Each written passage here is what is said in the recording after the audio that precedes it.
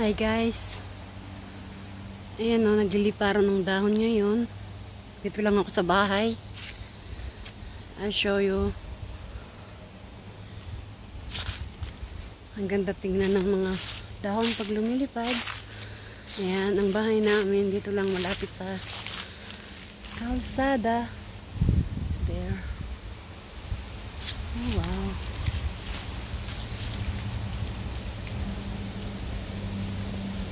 Bukas ang hangin. Ayan o, kita mo guys yung mga dahon.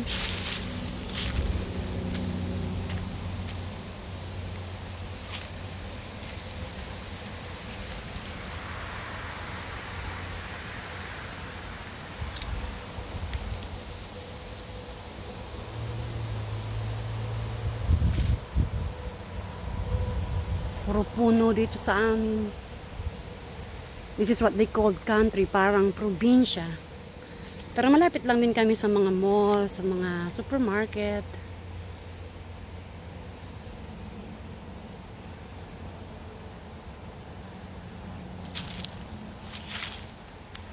Yan yung garden ko.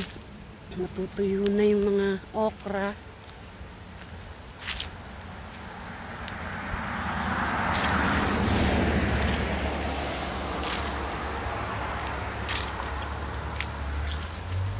Namimitas sa mga kamatis.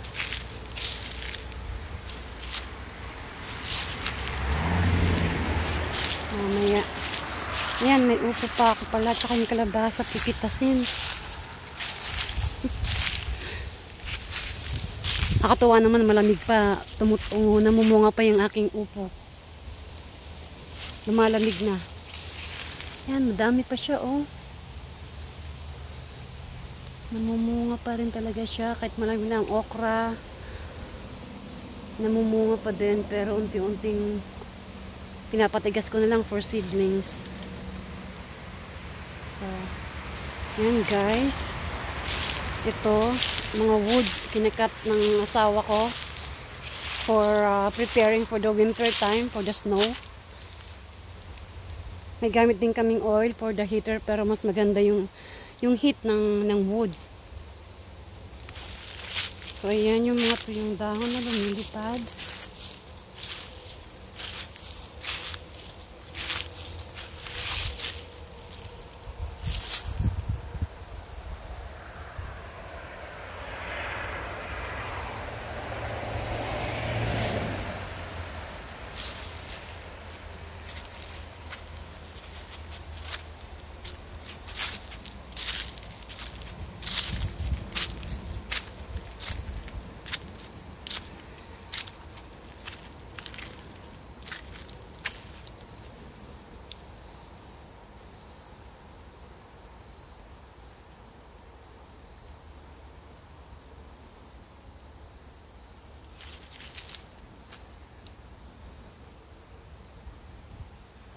Yan, yung ibang puno na lagas na.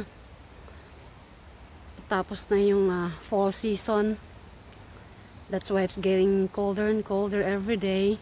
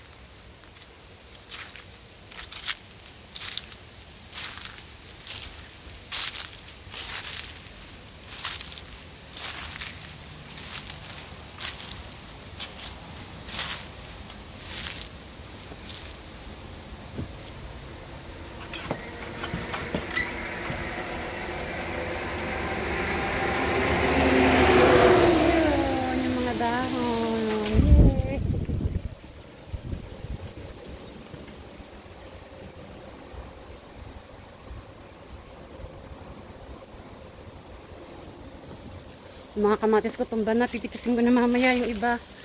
Ang dami na namang hinog, oh. Look at that, guys. This is a cherry tomatoes.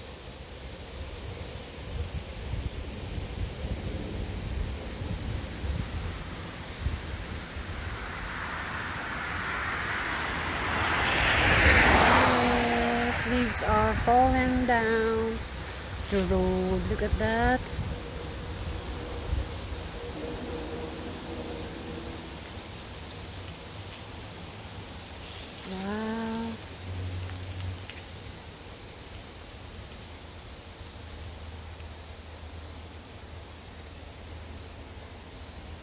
Nice weather today. Kahit medyo ah, malamig. Okay, okay pa. Scary pa. Scary pa ng lola niyo. Kasi yung bahay namin nang lapit lang sa road.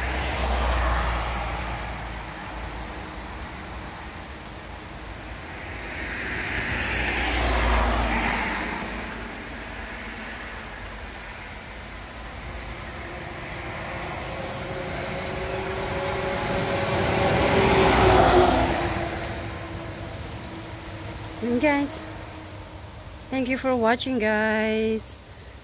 See you next video. Please like and share and subscribe. Thank you so much. Bye.